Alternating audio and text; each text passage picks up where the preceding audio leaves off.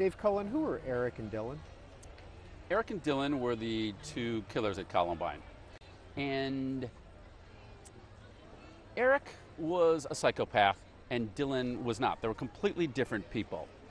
And, you know, as I, I, spent 10 years on this book, and the question I get asked the most often is why did they do it?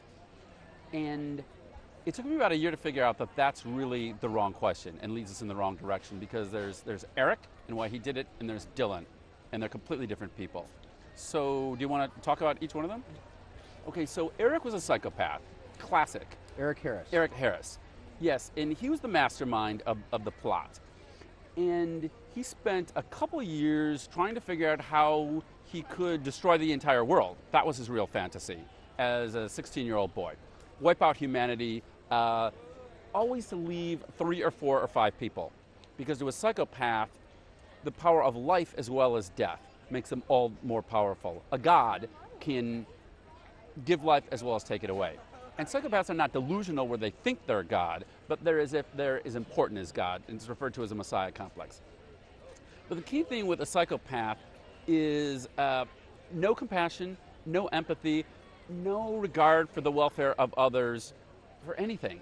Um, typically, they're nonviolent because it's just about meeting their own needs. So you see them as white collar criminals, Ponzi schemes, con men, frequently crooked politicians. You might be able to think of a few recent ones that come to mind. Um, that's a classic psychopath. Someone who would destroy other people's lives, destroy a state or a country for the most trivial gain on their own part. So that's a psychopath, typically nonviolent, but when the person has a sadistic streak too, then you typically get uh, a Ted Bundy, a Jeffrey Dahmer, or an Eric Harris. So that's the mold he comes from. Then do you want to talk about Dylan? Uh, Dylan is completely different. Dylan Klebold. Dylan Klebold. Yeah, polar opposite, polar opposite personalities. And uh, Dylan went along with the plan, but he was not driving it. And when you look at their journals, Eric's journal is filled with hate, hate, hate all the way through. Uh, it starts out, I'll clean up one word, but the opening line is, I hate the effing world. And it's hate on every page. He started out wanting to kill, and he ended up killing over the course of a year. But with Dylan, it's completely different. He spent two years, Dylan spent two years doing his, writing his journal, and the most common word in his journal is love. It's, it, it's completely unexpected. To me, Dylan was the revelation in this case. He was a loving, sensitive boy with a whole lot of anger, but his anger was mostly directed inward. It was all angry at himself for being such a loser, such an outcast. He wasn't. It was objectively untrue, but that's how he saw it. And Dylan tried so hard loving the world and felt that the world wasn't loving him back. And gradually, he takes a really slow evolution. He, he wasn't oppressive. he, easily diagnosed as a classic adolescent diagnosis, but that doesn't really tell you enough. The interesting thing is watching for two years how this kid, who looks like he would never kill, under the influence of Eric Harris, gradually turns that anger that's turned inward out at the rest of the world. And instead of blaming me, it's blaming all the rest of you people did this to me, and I'm going to take a lot of you with me and show you on the way out. And so Dylan still committed suicide, but took a lot of people with him. In your book, Columbine, you write Dylan's mind raced night and day, analyzing, inventing, deconstructing. He was 15, he had tagged along on the missions, he was Eric's number one go to guy, and none of that mattered. What were the missions? Well, the missions were they were a really early symptom of something going awry. Um, their sophomore year, Eric and Dylan started just doing these, they were just pranks. But Eric called them the missions because he was grandiose about everything. Um, he saw them as this, this big thing where we were showing you know people how great we were. They were just shooting off firecrackers, soaping up windows, egging houses. Then they got a little nastier, like super gluing mailboxes shut, um, and so forth. And what's interesting to me about the missions is that you see a progression with Eric going from petty vandal to petty thief to uh, felony theft to murder. He didn't just start out a mass murder, he had his own gradual criminal uh, progression where if he hadn't done something like Columbine, it's pretty clear he would have become a career criminal of some sort. Uh, but he had that sadistic streak, so he wanted to kill people for very simple reasons for, for his own aggrandizement and because he enjoyed it. He, he wanted to have fun and he, he wanted to show us. Uh, it's, you know, I would say it's um, understanding a psychopath. It doesn't take a whole lot to understand what one is. It's a fairly simple complex. It's hard to believe that it's true that somebody will kill some someone. Kill. He wanted to kill hundreds of people, but will do that for, for the most petty gain to himself. But that that was enough. April 20th, 1999 was the date of Columbine, the massacre at the high school there. Yes. But Eric started planning this in 1997. Yes. Yes. How did you discover that?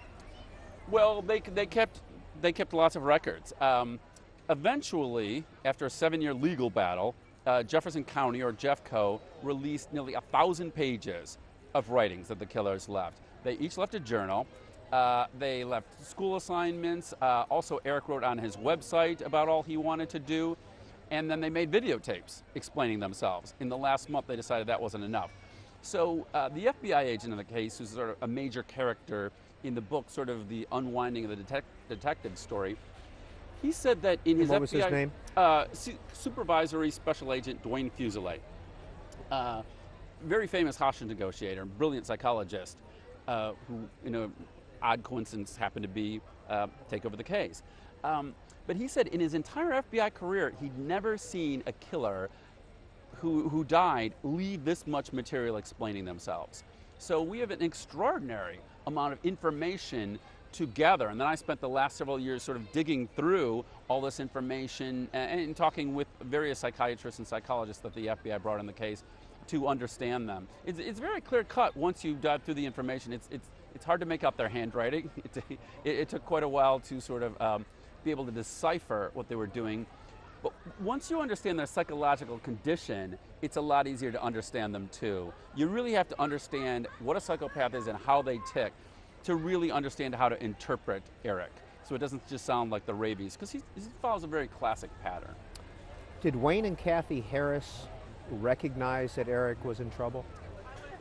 That he was in trouble, I, I said that he, and that he got in trouble, they had no idea the extent of trouble. And almost nobody recognizes a psychopath. If you think about somebody like Hannibal Lecter, you have to really throw out the Hollywood version because a psychopath is never going to tell you that they're going to eat your liver. You would be the last person in the world to know they're a psychopath. The first classic book on psychopathy that was published in the 1930s by Dr. Hervey Cleckley, he titled the book The Mask of Sanity because there, there are two clusters of characteristics of a psychopath. One is their total lack of empathy, the lack of compassion for everybody, uh, for anyone. But the Cleckley decided the even more important characteristics was the ability to disguise that lack of empathy, as if wearing a mask. Psychopaths are nearly always charming. They're the people we turn to to trust. Uh, after we're in bankruptcy court or divorce court, they're the person, the person you turn to for help, that is most likely the psychopath. That's how good they are. So parents never recognize they have a psychopath in the house. And the Harris parents knew that Eric was acting out, that he'd gotten in trouble sometimes. They, they were having him see a psychiatrist. The psychiatrist put him on Zoloft. That wasn't strong enough. They put him on Luvox. Uh, they, they disciplined him strongly. So they knew they had a kid acting out, but they had, they had no idea what.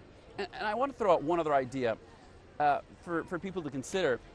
Eric was gobbling up uh, Shakespeare, writing papers on uh, King Lear and Macbeth, uh, Tess of d'Urbervilles, uh, Euripides. And he would write the most amazing apologies. So, picture you've got a kid, he acts up, sometimes he gets in trouble, and then when he explains himself, he shows deep, utter remorse. He quotes Shakespeare in, you know, when he's talking to, and, and how, you know, in King Lear he learned a similar thing there you will give a kid like that a lot of latitude. You got a brilliant kid who seems to be just doing really well. Sometimes he gets in trouble, he acts up. So they knew they had a problem child, but what kind of parent thinks, God, he acts out sometimes? I, I wonder if he's considering mass murder. Did Sue and Tom Klebold recognize anything in Dylan? They recognized depression. They knew that he was depressed. they had no idea how bad it was, that it was that extreme. They didn't know that he was suicidal. He talked for two years in his journal about, about suicide.